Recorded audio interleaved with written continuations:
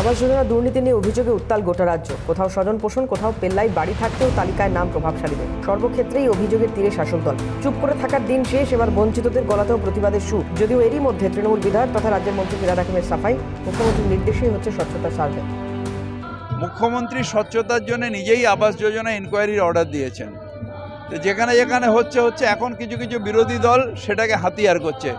খুব বেশি লাভ হবে না। অন্যদিকে এই প্রসঙ্গে সড়ক বিরোধী শিবির। অযোগ্যদের জন্য তো আবাসের ঘর দেয়নি কেন্দ্র। রাজ্যকে কটাক্ষ সুকান্ত মজুমদারের।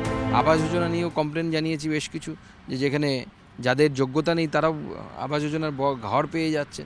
তো এই জন্য তো আবাস যোজনার ঘর দেওয়া হয়নি। এগারো লক্ষ ঘর মোদিজি পশ্চিমবঙ্গের সাধারণ গরিব মানুষের জন্য দিয়েছে। এখন যারা ঘর পাচ্ছেন না তাদের উচিত মমতা ব্যানার্জির বাড়িতে আসা যে যে আমাদের ঘর দিন। অর্থনৈতিকভাবে স্বাবলম্বী মানুষ ঘর পেলে তাকে ঘর ছাড়া করবই। কড়া বার্তা বিরোধী দলনেতার। অর্থনৈতিকভাবে স্বাবলম্বী বা সতেরো দফা গাইডলাইনের মধ্যে ঢুকে পড়েছেন। এমন লোক যদি টাকা পায়, তার তথ্য দিতে সরাসরি মন্ত্রী মহোদয়কে।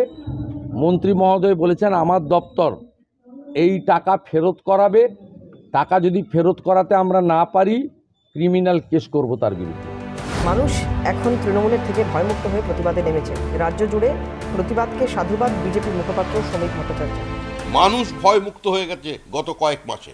মানুষ তৃণমূলকে একসময় ভালোবাসতো তারপরে ভয় পেত এখন মানুষ ভয় মুক্ত মানুষ প্রতিবাদ করছে। তৃণমূল ওপর থেকে নিচ পর্যন্ত আবাস যোজনার টাকার সম্পূর্ণভাবে তছরূপ করেছে। মুখ্যমন্ত্রীর ধাপ্পাবাজি বুঝে গেছে সাধারণ মানুষ তাই প্রতিবাদে মুখর গোটা রাজ্য দাবি বিজেপি সাংসদ জগন্নাথ সরকারের। আজকে দিদির যে ধাপ্পাবাজি জনতা বুঝে গেছে তাই মানুষ প্রতিবাদ করতে শিখেছে এবং ভবিষ্যতে এর ব্যাড এফেক্ট যারা অপরাধ করেছে তার জন্য তাদের শাস্তি পেতে হবে।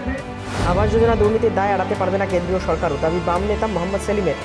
সেন্ট্রাল বাজেট থেকে যত অংশের টাকা আসে যে স্কিমে তার প্রয়োগ নিয়ে তার খরচ নিয়ে তার ইউটিলাইজেশন নিয়ে তার দুর্নীতি নিয়ে কেন্দ্রীয় সরকারের সেই দপ্তরগুলোর দায়বদ্ধতা আছে।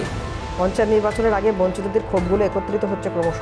তবে আগুনে ঘৃতাহতি বিরোধীদের কোন দিকে এগোবে শাসক দল সেটাই এখন দেখার। Bureau report Calcutta news.